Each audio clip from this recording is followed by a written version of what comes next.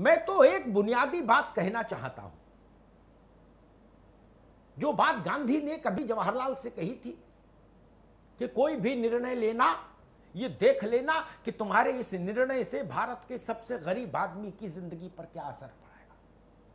इसके लिए कोई बहुत ज्ञान की ज़रूरत नहीं, किताबें पढ़ने की ज़रूरत नहीं, वेबसाइट्स खोजने की ज़रूरत नहीं। हमारे देश का ननकू और रज्जाक अगर इस व्यवस्था से खुश हो सकता है तो वही रास्ता ठीक है।